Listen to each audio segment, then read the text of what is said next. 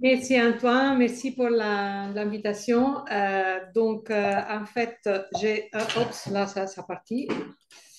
Et, ah, donc, j'étais pas trop sûre de quel type d'audience on avait, donc euh, j'ai préparé mon talk en anglais déjà.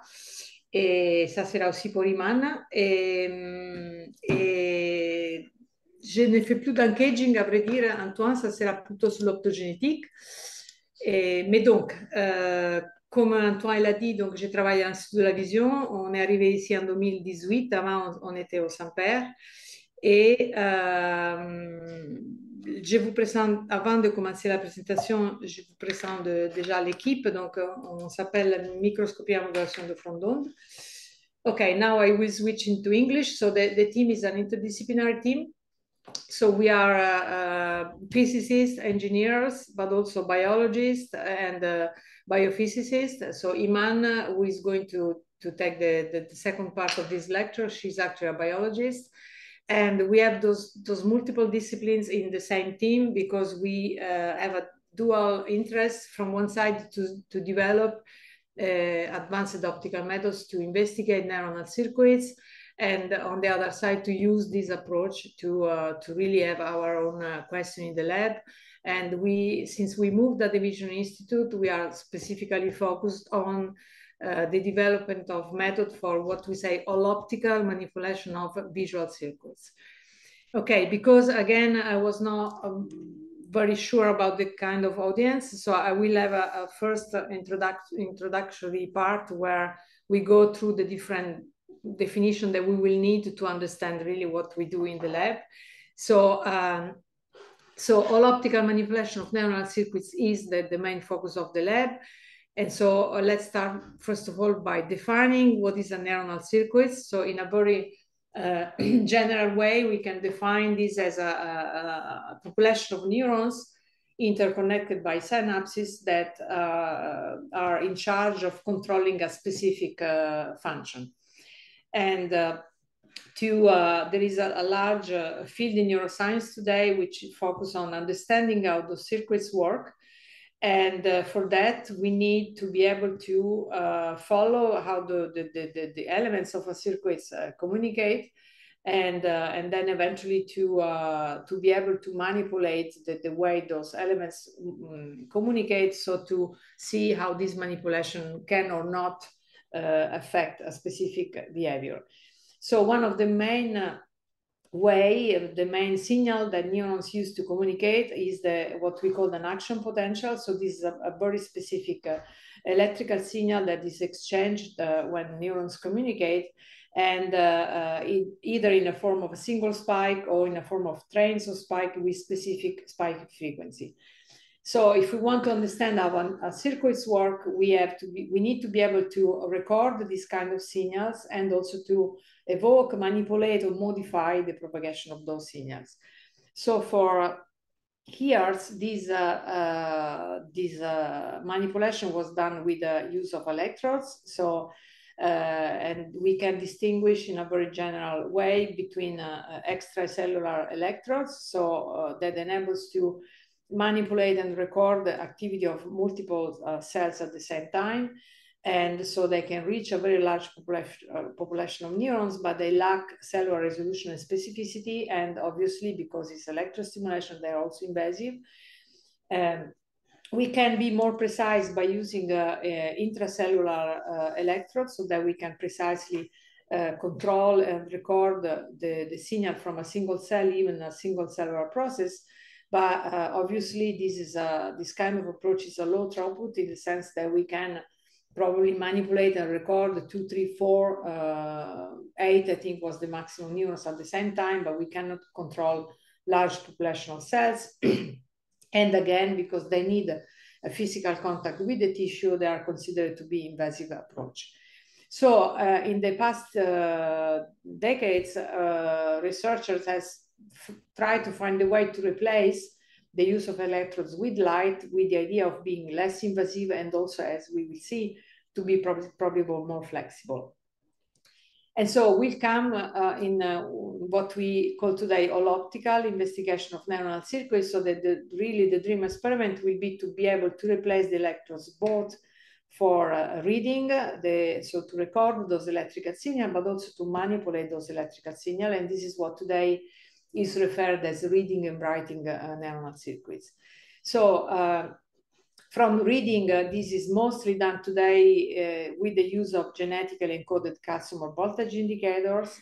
And these are fluorescent protein. And I will go into to quickly um, show um, how calcium indicator works. And in the part presented with Iman, we will, she will mainly focus on the use of voltage indicators.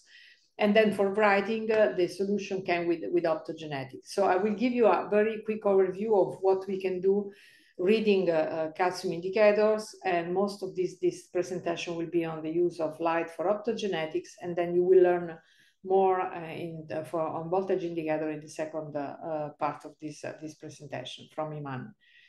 Okay, so how can we read an electrical signal?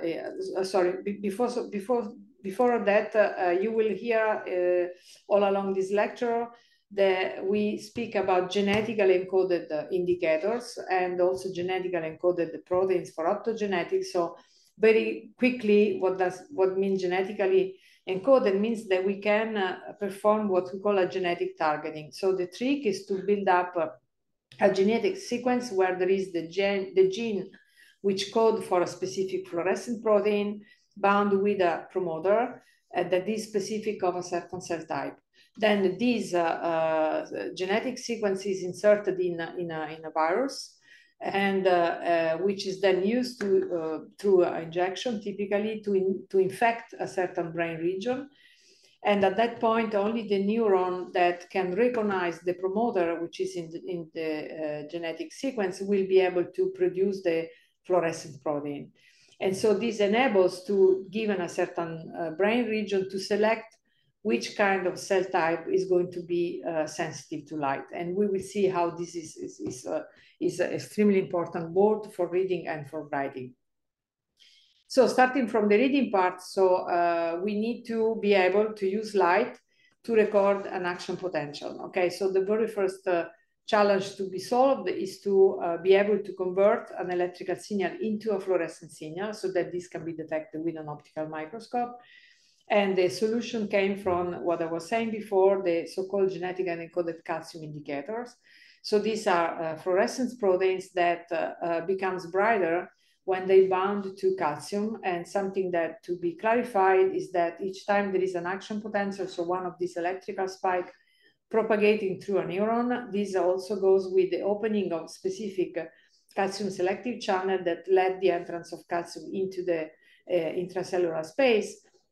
And so because those proteins, when they bound to calcium, becomes brighter, by, uh, by following the evolution of the fluorescence, uh, we can uh, um, image the propagation of those electrical signals. So this is an example of one of the very first uh, movie that has been done uh, demonstrating how those, those indicator works. So you will see here in red, uh, this is the ele electrical recording. So each time you see a spike, this is exactly the time where the cell is producing an action potential. And then in yellow, you see the corresponding fluorescent trace, uh, which very nicely uh, reproduce the, uh, the, the, electrical, the electric acti activity.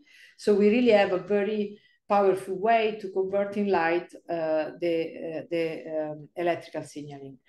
So um, now the, the, the, important challenge at a certain point came when uh, we wanted to record, the people wanted to record this kind of signal uh, having single cell resolution in uh, from neurons uh, which are embedded in a scattering tissue as is the brain.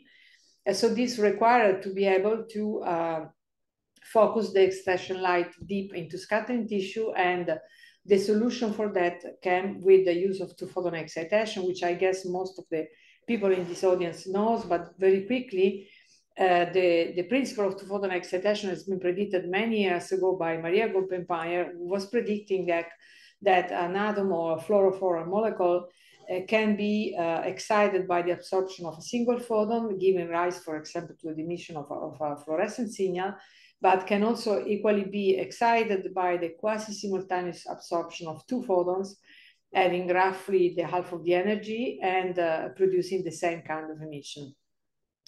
So in, uh, in, in, microscopy, the, the interest to photon absorption came uh, by for two reasons. First, that because we use a, lower energy, we can use a, a, longer wavelength, and because the penetration of light in scattering tissue is uh, uh, related to the inverse of the, the, the, the wavelength. So that the more we go into the infrared, the more we can penetrate.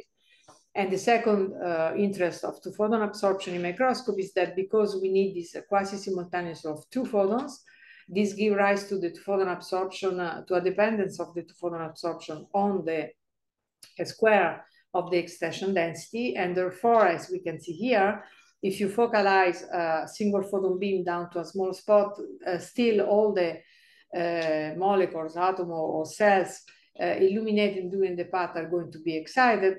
Uh, while in photon microscopy, eventually only uh, the, the targets that are exactly at the focal plane will receive enough photon density to be excited into photon. So we have a very nice way to reject the out-of-focus light. And so what we say into photon excitation, we have an intrinsic axial confinement. And so at this point, it's possible to build up a microscope where you have this, this, this, this focalized two photon volume and then you can scan the spot in a, in a specific re, uh, uh, region of interest. And so you can record what we say, an image which has uh, uh the cellular resolution because has this uh, nice uh, optical confinement. And now is in, in the same preparation, you you managed to express those calcium indicators so that you can repeat this, this scanning approach.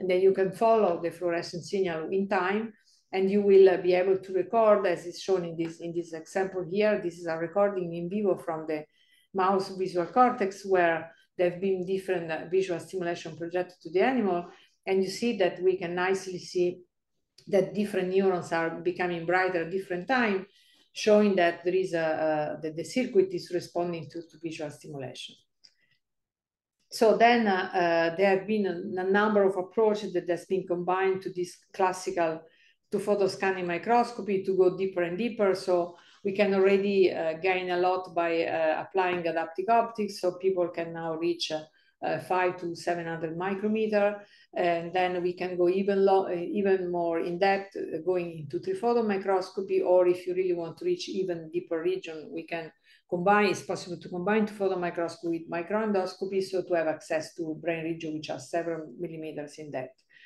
It's also possible to increase the field of view uh, with respect to classical uh, two photon scanning microscopy, for example, building up what we call today some mesoscope, where there are multiple scanning head that enable, this is a, a spectacular movie from the Karel Svoboda lab, where you see it is now possible to record the entire visual cortex from a mouse, and then to, uh, to zoom in the region of interest, so to analyze the propagation of signal at single cell resolution.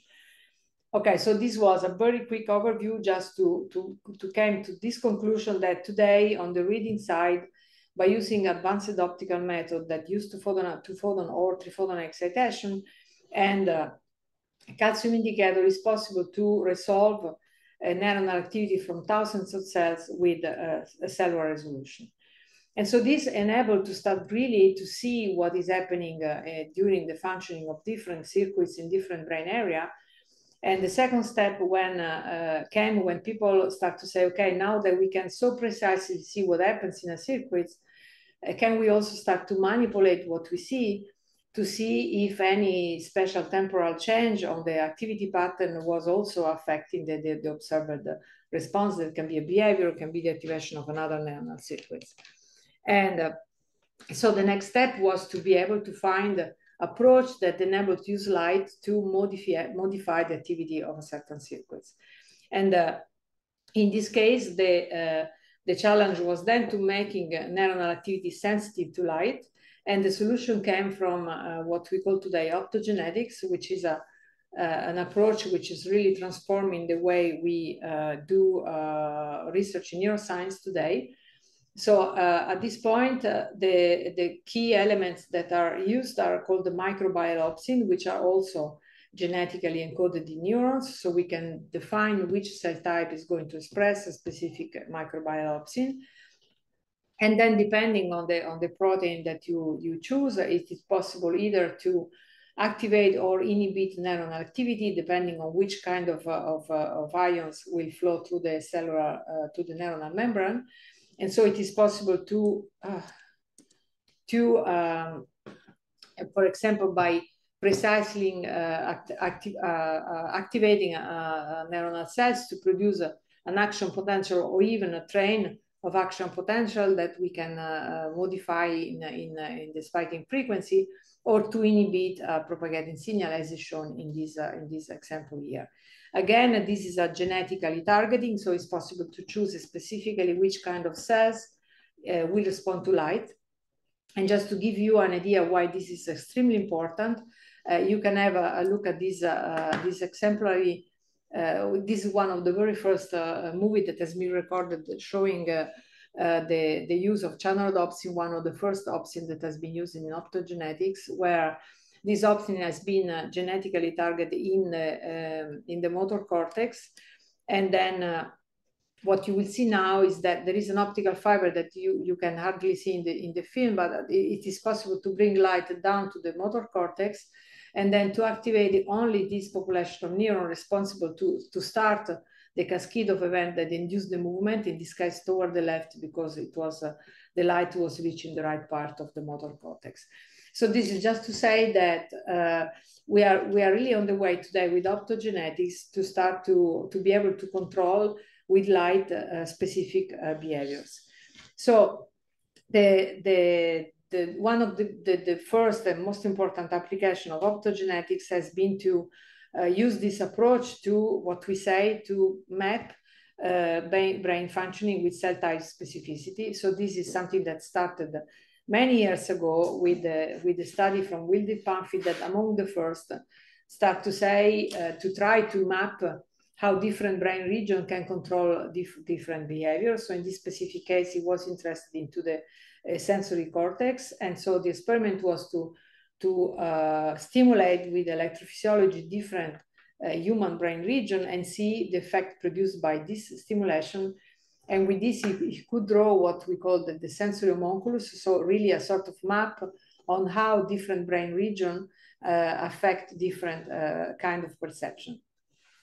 So this kind of uh, this kind of experiment were done with electrophysiology, so they were highly invasive and also uh, they only enable to associate a specific brain region to a specific response, but still were uh, missing the information on which cell type is responsible to what we observe. And which is something that today is possible to do with optogenetics, where we can replace electrostimulation with light.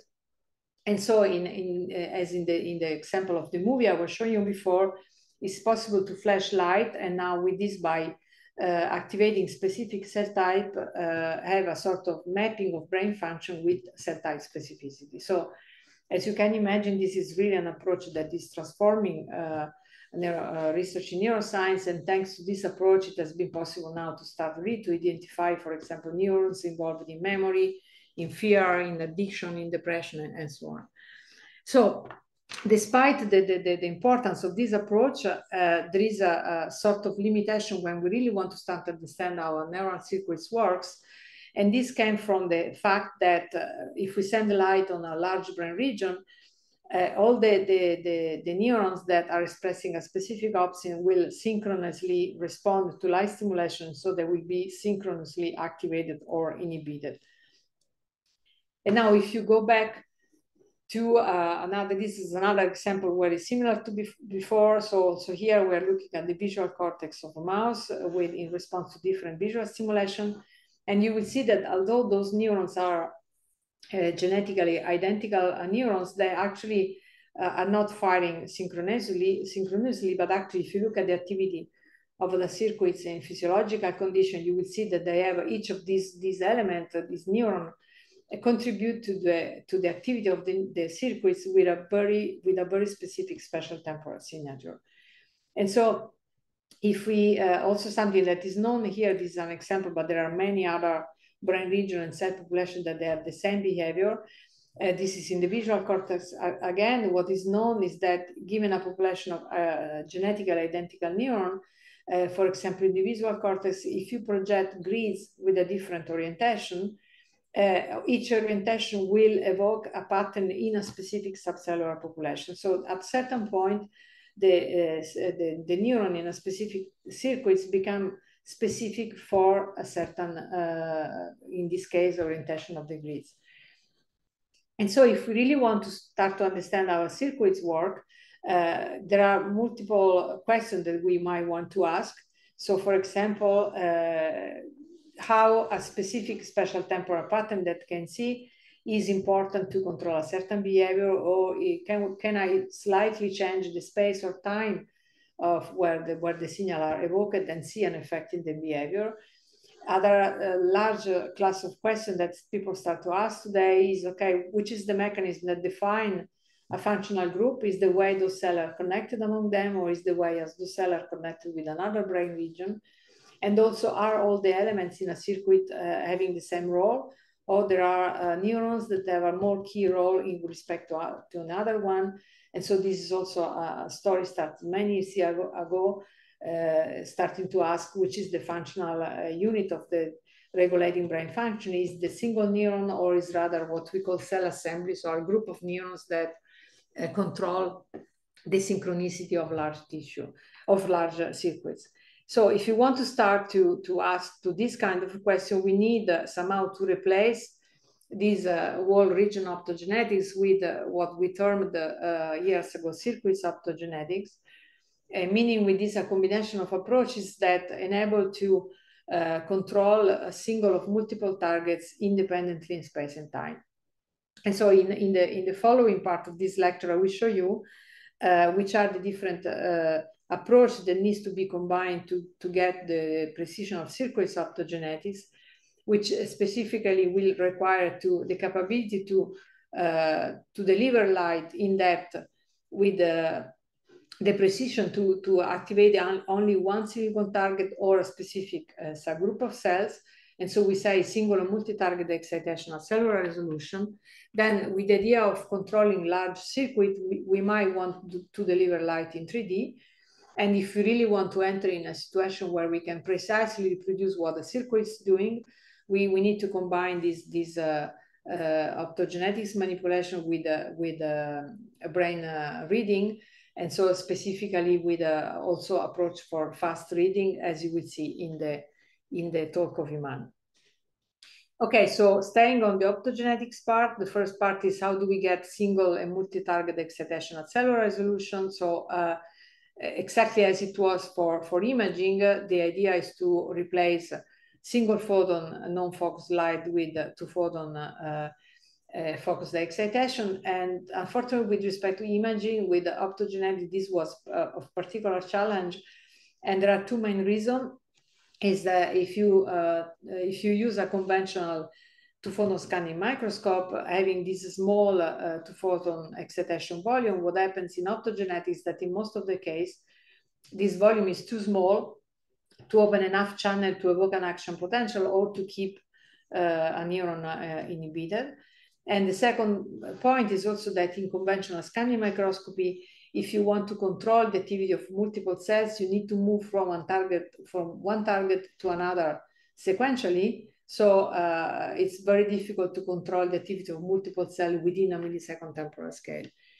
And so the use of two-photon excitation for optogenetics requires to uh, find solution that enable at the same time to increase the volume, uh, the excitation volume, so to open more challenge at the same time, and also to be able to multiplex light at multiple targets, so to reach them within a millisecond temporal scale.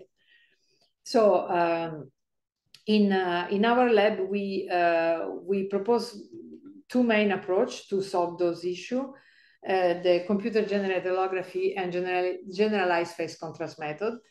So um, very quickly, uh, both in both cases, we use a key device, which are called liquid crystal spatial light modulator, that enable to modify how the beam propagate uh, in the sample plane and uh, how the beam propagates and so how the light is focused uh, uh, in the sample plane. Uh, in computer generated holography, this liquid crystal matrix is in a plane, is at the Fourier plane with respect to the sample plane and uh, is addressed with what we call, we, we call the phase hologram. So this is a, uh, um, something which is calculated and actually is, is, nothing more than the interferogram that the light back propagating from a certain image template will create with our reference beam. And so then when the light is going through this phase hologram is actually in principle able to recreate with light any image template. Uh, in generalized contrast method, the, the principle is slightly different. It's actually it's the main mechanism at the base of phase uh, uh, contrast microscopy. So now the spatial light modulator is conjugate with the sample plane and uh, the light pattern is, is generated through an interferogram.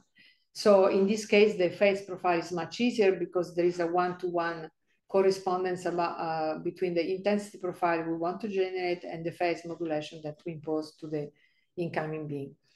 So uh, we will see mostly in the, in the second part of the talk from Iman uh, why we use one approach or another, but in general, for now, the only message important to keep in mind is that we do have approach that enable to very precise light, uh, shape light in the sample plane. And the question was, okay, can we perform this light shaping with enough precision to really target only one neuron or a specific population of cells? And so this required, first of all, to find a way to, to, to, to, this, to have this image template.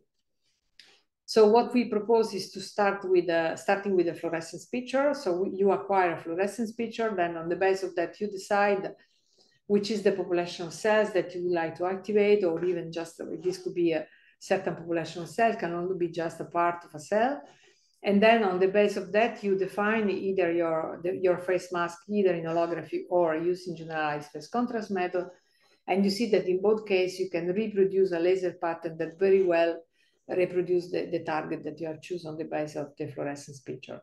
You can also use both approach in a much simpler way to simply produce disk of different size or uh, multiple diffraction limited point that we will see at a certain point later on.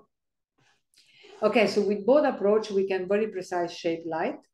And uh, uh, because uh, the, the phase mask are sent on a dynamic device, it's also possible to uh, generate a sequence of activity pattern. And that also you will see later on is, is very important when investigating uh, neuronal circuits.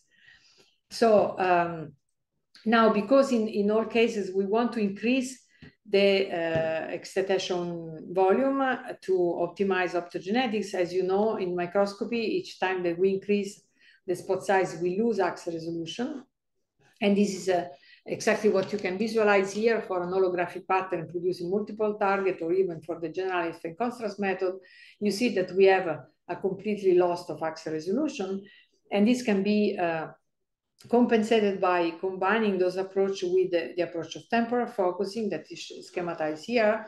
So in this case, the key element is a dispersive grating. And what the grating does is to disperse the different color of the pulse through slightly different angles. And so the corresponding difference in the optical path introduced by this dispersion will induce a progressive broadening of the pulse.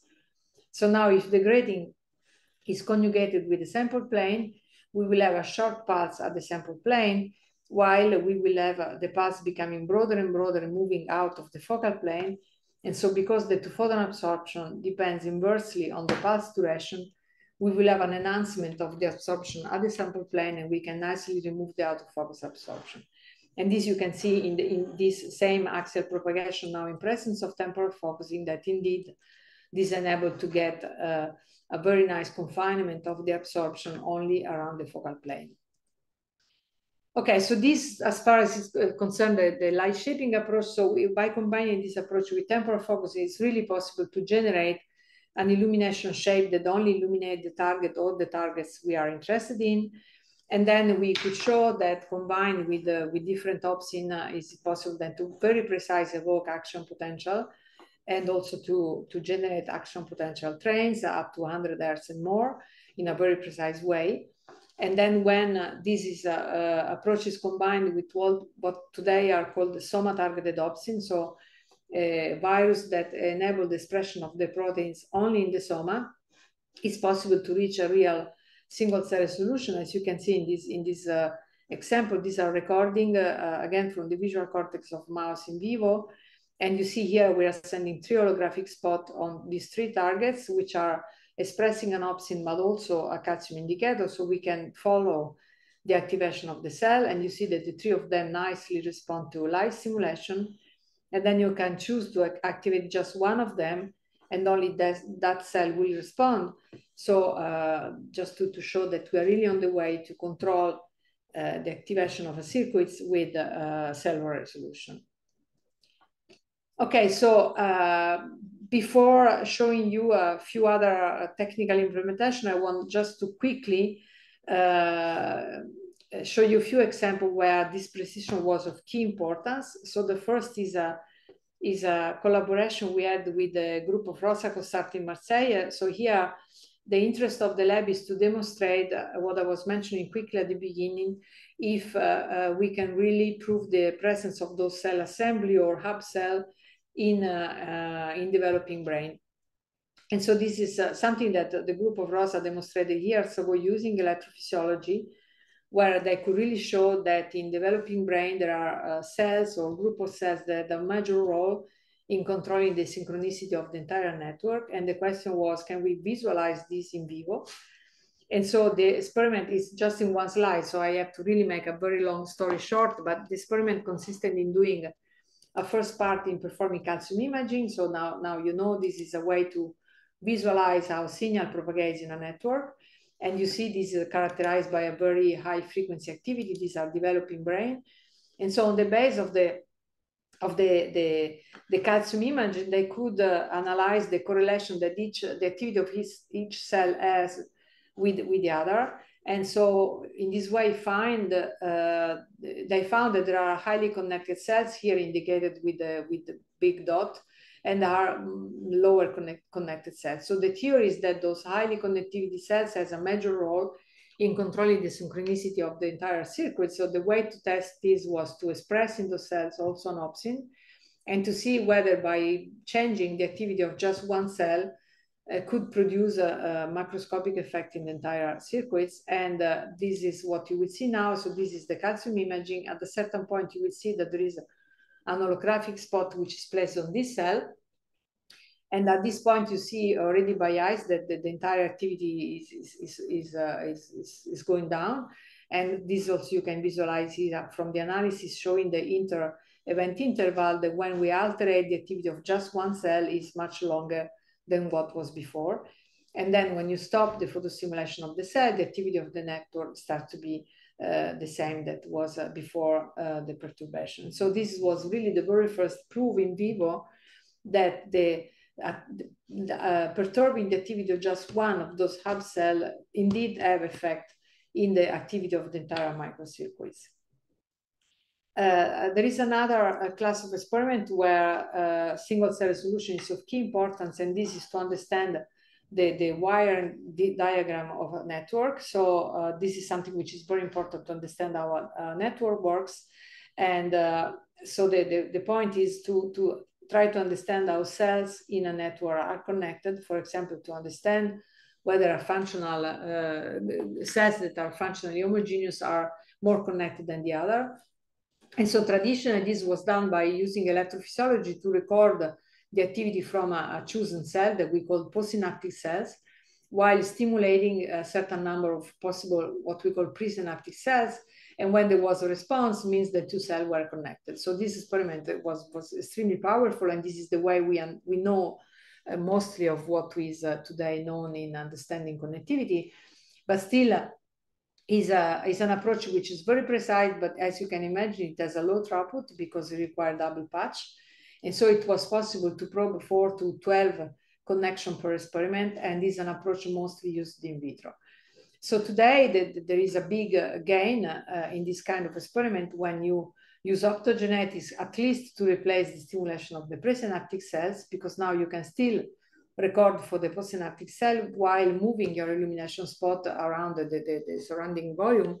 And uh, just to give you a few numbers today, doing this approach, we, it is possible to probe more than 100 connections per experiment, so an, an incredible uh, gain. And also because we use light, we don't need double patch, it's possible to use this approach also in vivo. I won't have time to go through the, the, the, the, the to show you examples, but you can you can look at those references to, to see uh, example where this approach is, is really giving important, important information on cell connectivity. So uh, another requirement that I was mentioning before, if you want to activate multiple cells or if you want to control a large circuits, require to not only uh, be able to control a single or a small group of cells with light, but eventually also to control multiple cells that are distributed in a three-dimensional volume. So this required to further modify the system so that this is, uh, there are multiple ways of doing that. Here I'm schematizing the last one we are, we have developed. So these are, use two spatial light modulator. So the first one, as I was describing before, is just producing an holographic sh shape on the grating for temporal focusing. So it's going to be temporally focused. And then you can use a second spatial light modulator that alone will produce a distribution of point uh, in 2D or in 3D which are centered at the target that you would like to activate. And then when the two devices are working together, this second device enabled to multiplex in 3D all what the first device is uh, producing on the grating for temporal focusing. And so with this, it's possible to, as you see here, for example, to create 50 temporally focused spots in 3D in a relatively large volume. And to, to say that there are multiple ways of reaching the same goal, you can replace the SLM with a fixed phase mask so to, to avoid to use two spatial modulator. You can also replace this part with the generalized phase contrast method or to use just an expanded Gaussian beam. This is what is called 3D shot or to go for more complex phase amplitude uh, approach. And uh, okay, for, for, for lack of time, I won't have time to compare all of them, but you can refer to this reference where these different approaches are compared. But in general, the message is that with, with those approaches, it is possible today to control hundreds of, of, of cells in a millimeter cubic volume. And so this has really opened the way to control a large volume. And till now, there have been a, a multiple application of this approach. So uh, there have been a, a, very important paper that has been published in the past year where this 2D or 3D multi-target uh, uh, holographic pattern has been used to probe what they say the threshold for perception. So very briefly, the idea here is to use calcium imaging to find which population of cells is responsible for respond when uh, the, the, mouse is uh, subjected to a certain visual olfactory stimulation, and then to remove the, the stimulation and uh, uh, activate those cells using holography and see whether the mice are, are able to perceive the same kind of, uh, of response. And this actually it was the case. So this is really another way to start to show that uh, we can really reproduce the, the perception using um, optogenetics. There is another application that I would like to quickly show you uh, that takes advantage from the fact that we can generate light in 3D. And this is the fact that we can actually, in this way, decouple the imaging from the photostimulation plane. So there are situations where you don't want necessarily to read and write from the same plane, but you might want to act, write activation in a certain plane and see how this propagates in an axially distinct plane. And uh, specifically, we use this, this uh, trick to investigate the signal propagation into the retina this is a collaboration with Serge Picaud here at the Vision Institute. So they were interested in understanding how the activity of a specific cell layer, which are the uh, rod bipolar cell, propagate up to the ganglion cell layer. So for those who are not expert in retina, a very schematized in a very schematized way, so light is uh, uh, is captured by the photoreceptor that transform this uh, optical signal into an electrical signal that then is processed through different cellular layer till arrive at the ganglion cell layer where the final signal is then sent to, to the brain to, to create the real uh, perception of vision. So in this case, what's important to be able to read them right into different, into different plane. So for that, we take advantage of three-dimensional holography because we, we perform a conventional two photon scanning imaging in the ganglion cell layer and while projecting holographic pattern up into the rod bipolar cell, which are separated of about 70, 100 micrometer, and so what we could do is what is shown here. We could project different activity pattern while uh, looking at the uh, effect evoked uh, into the, in uh, the ganglion cell layer. Again, uh, is a very long story that is just summarized in two slides, but the, the, the, the general result was to prove that actually these, uh, if you choose a specific ganglion cell layer, there, there, there is a very reduced region in the bipolar cell layer where the activation of a cells can produce a response, showing that uh, in this specific circuit, the propagation of, of the signal is relatively vertical. And this has implication into the understanding how the propagation of signal works in, uh, uh, in view of uh, the developing of therapy for visual restoration. So uh, I'm uh, coming to the end. Before to conclude, I just want to show this very last application that will also enable to introduce the next talk. So uh, the question was uh, at, at, this point was okay, we can uh, very precisely control the activity of, of a neuron in space and time. But now if we want to activate multiple target in a sequential way, how fast we can go. And then the limiting factor is the refresh rate of the spatial light modulator and also the cell illumination time. And so uh, this, this uh, sequential patterning was limited to uh, a, tem a temporal resolution of uh, 3 to 20 milliseconds or even more.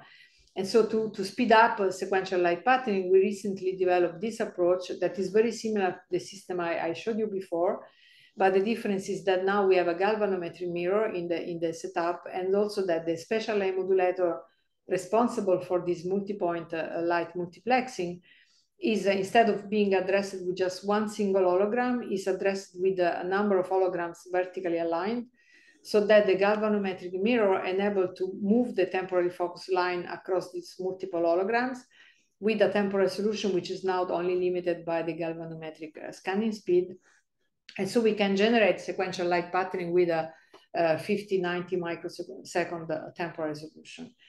And so this uh, has multiple implications with respect to the number of cells we can reach with respect to the local heating. But most important is also a way to, to, to start to design a sort of dream experiment that will uh, consist in record the activity of a certain circuits and being able uh, almost online to reproduce the, exactly the same activity and then to start to slightly desynchronize or modify the spatial location of activity and see how this uh, small change can or not affect a specific behavior.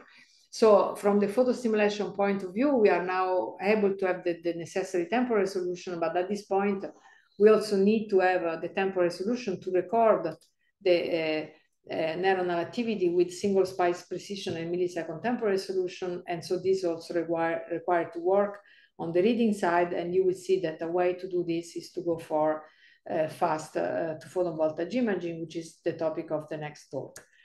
So uh, the conclusion of this talk is that we do have a, a, number of approaches that can be today combined together for reading and writing neuronal circuit, and I show you a few examples where this is key to, for example, prove the presence of hub cells in controlling circuit dynamic, in performing high throughput connectivity mapping, or to follow signal propagation across multiple layers and probe threshold for perception. So I will uh, thank again the people of my lab that contributed in the different experiment I did and uh, I showed, and then the, the different collaborators, the financing source, and I will be happy now to answer to, to your question.